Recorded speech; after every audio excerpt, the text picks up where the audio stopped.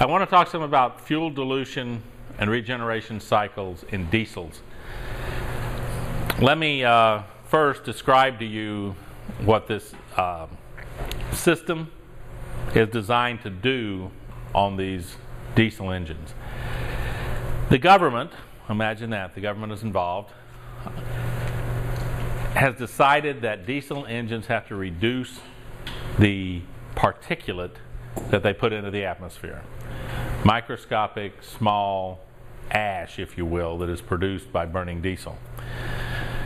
So, to do this, they've come up with this device called a uh, diesel particulate filter, DPF. Now, these filters are honeycomb type devices that manage to trap these small carbon particles as waste in the filter as the exhaust goes through it.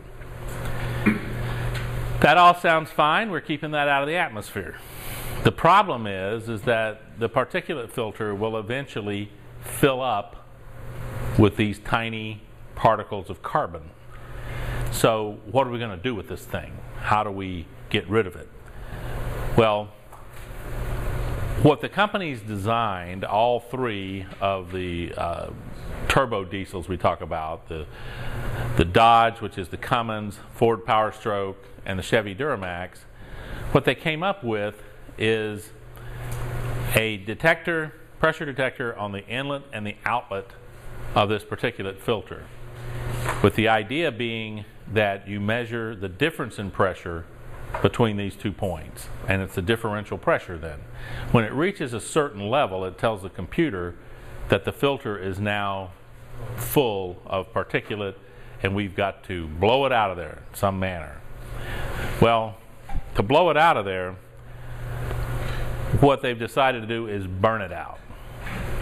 Now, in the defense of these three manufacturers, the federal government came up with this requirement sort of right at the last minute of the last major diesel uh, exhaust emissions uh, requirement. In other words, they were moving along and it looked like they were going to set a certain standard, and then they already had these engines and systems designed, and they came out right towards the end. If you remember, in fact, Volkswagen uh, and I forget the other company.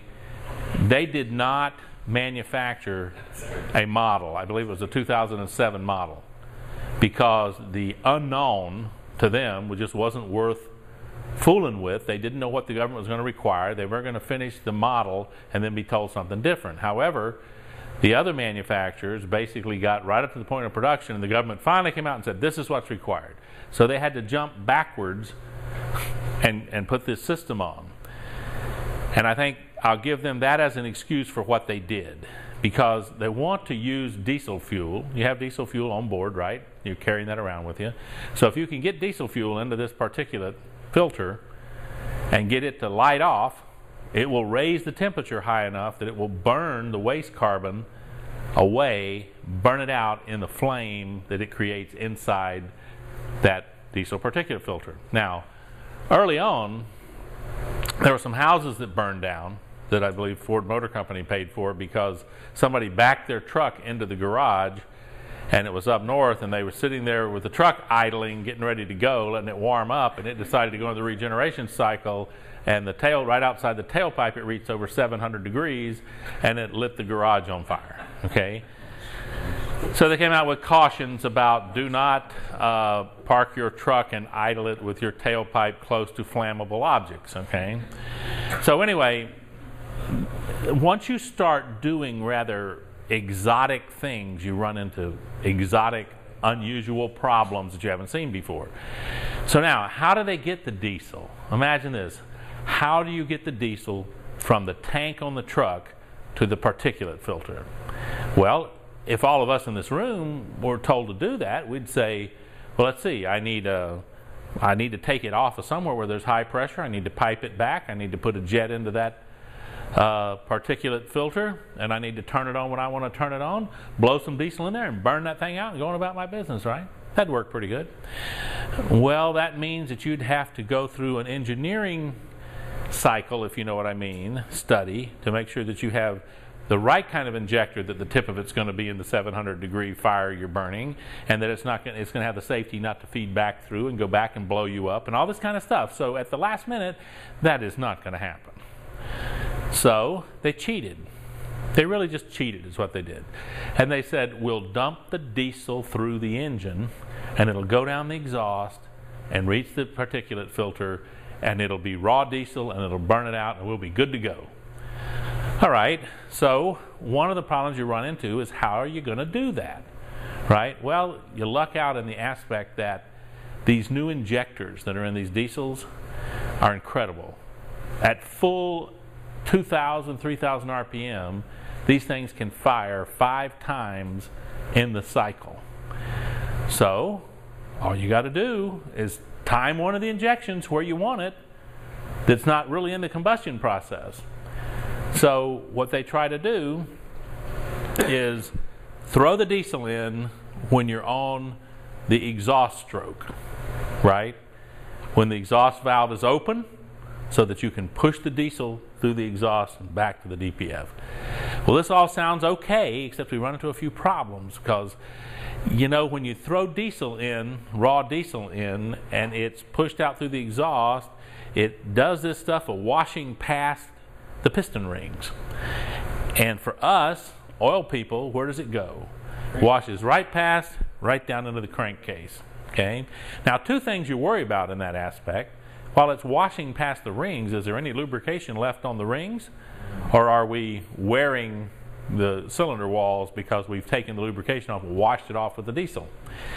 And then the other thing is, is that once we get the diesel in the the sump, contaminated a certain amount, how much, when do we think the diesel reached condemnation level of fuel contamination that now wherever that diesel is running in the engine, not the diesel, but the motor oil is running in the engine, it's not providing enough lubrication because it's got too much diesel in it. Okay?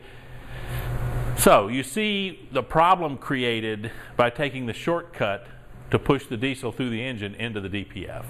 Well, before I go a whole lot further, just let me tell you, they knew it was a problem because the 2011 LML, I think it's called, Duramax engine, they've got an injector in the DPF filter and they won't be going through the engine anymore. Ford and Dodge just kept going with the same practice of running it through the engine. Now, so this was a big deal at AMSOIL, and this is where you saw, well, let me tell you this first. What concentration do we reach? Well, we reach as much as 10 to 13 percent fuel contamination in the lubrication. Now, the old condemnation limits that were used by everybody in the business was 4%. If you had 4% or more fuel dilution, that was time to change your oil because it could be thinning your oil below the level to provide adequate protection. So, good Lord, these guys are intentionally driving us to 10 to 13% in the regeneration cycle, and we're going, well, we must be ruining the trucks, right? So that's what AMSOIL was doing a field study on, which I might say a, their field study, in my opinion, had some gaping holes in it the way it was done because it wasn't necessarily going to give you a scientific finding. And I discussed that with Mr. Peterson, and, and he agreed that there was a few things they'd missed, so they might have to narrow their focus. But here's the point. They got trucks, they're running oil analysis, they're testing them to see how the oil analysis looks and how the oil changes are going and how that stuff is. Now, they promised to send that stuff to us, and as soon as I have that information, I'll either get it on my website where you can see it or in another meeting that we have, we'll put it up here and talk about it because they've got the charts and all the diagrams. But they, he did not have that even in paper format to hand to us in the classroom. So it's coming as a package but it wasn't done yet. And he said, quite truth was, it was real time. We were looking at oil analysis they'd done the day before. Okay, so this is a real time study they're in the middle of.